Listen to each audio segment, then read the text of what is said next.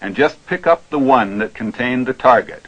We have no hypothesis at this point as to whether this is a heightened sensitivity of some normal sense or whether it is some paranormal sense. Now, we are repeating the experiment with a different target object. One of these cans is filled with room temperature water. Again, the can was filled by an outside person who randomized the position of the cans. Then the box that contained the cans was rotated by a second person so that there is no one person in the room who knows the location of the target can.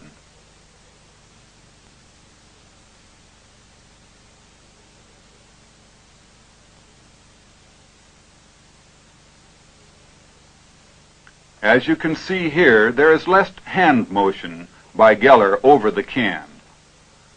The protocol, as before, involves his calling out the number or pointing and one of the experimenters removing the can at Geller's call.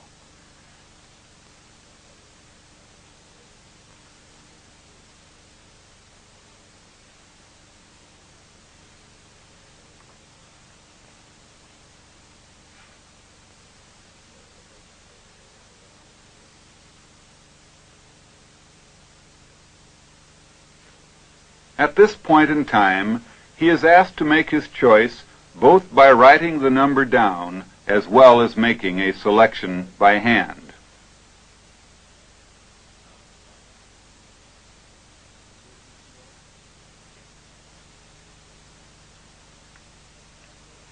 You will note that he is making a final test to be sure of his selection. Tentatively he reaches, and having made the selection, now looks to see whether water is inside the can.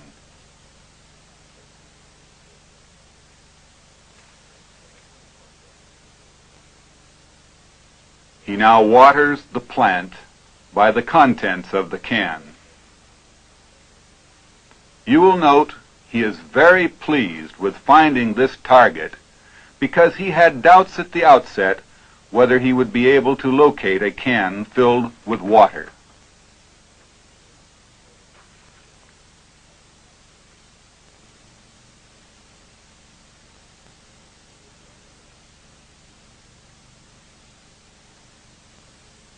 We repeated this type of experiment 14 times. Five times involved a target being a small permanent magnet.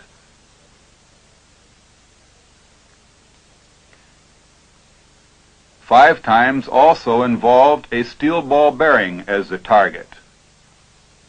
Twice the target was water. Two additional trials were made, one with a paper-wrapped ball bearing and one with a sugar cube. The latter two targets were not located.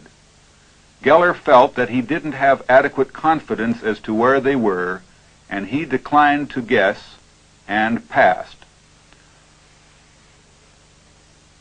On the other 12 targets, the ball bearing, the magnet, and the water, he did make a guess as to the target location and was correct in every instance.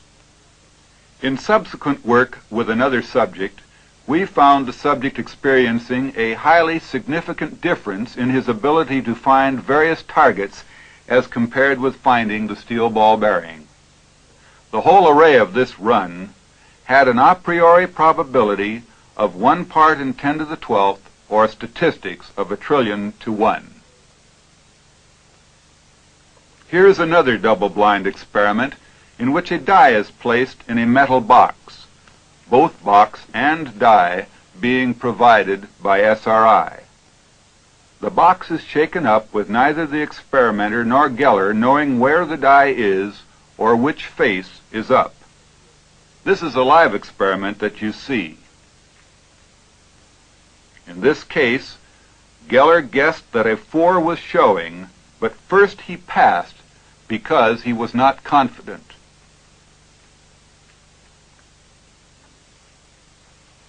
You will note that he was correct, and he was quite pleased to have guessed correctly, but this particular test does not enter into our statistics. The previous runs of 10-can roulette gave a result whose probability due to chance alone is one part in 10 to the 12th. We decided at the outset to carry out the die and box experiment until we got to a million to one odds, at which time the experiment was terminated.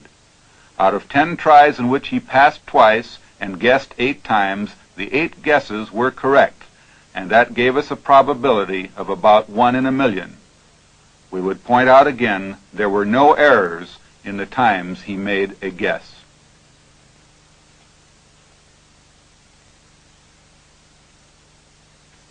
This is the first of two experiments in psychokinesis.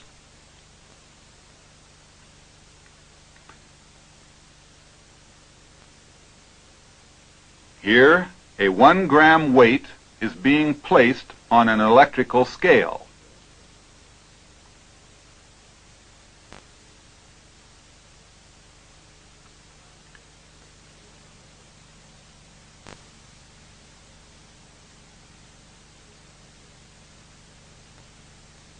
It is then covered by an aluminum can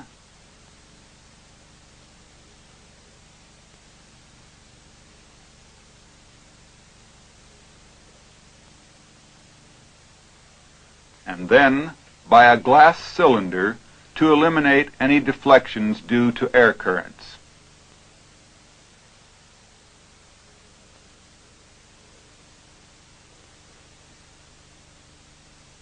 First part of our protocol involves tapping the bell jar.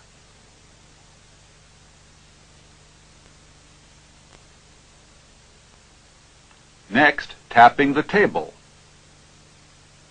Then, kicking the table. And finally, jumping on the floor, with a record made of what these artifacts looked like so that they could be distinguished from signals. In tests following this experimental run, static electricity was discharged against parts of the apparatus. A magnet was brought near the apparatus, and controlled runs of day-long operation were obtained. In no case were artifacts obtained which in any way resembled the signals produced by Geller, nor could anyone else duplicate the effects.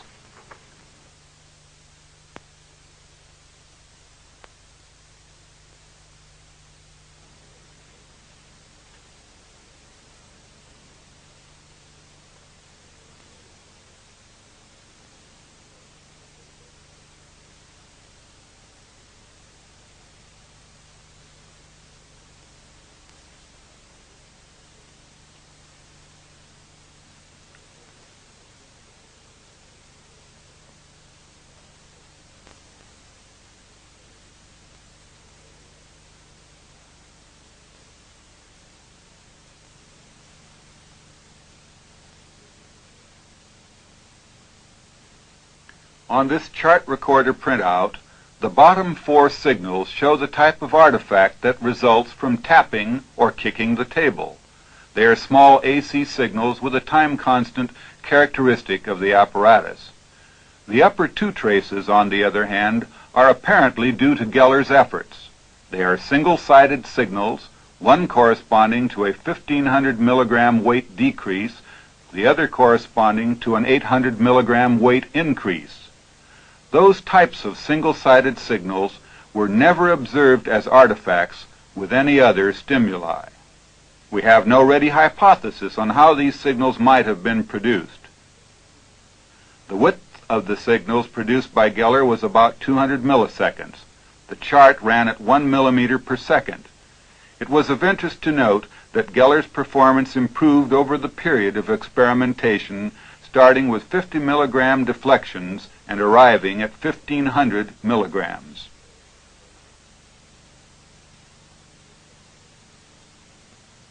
In this experiment, Geller attempts to influence a magnetometer either directly or by generating a magnetic field.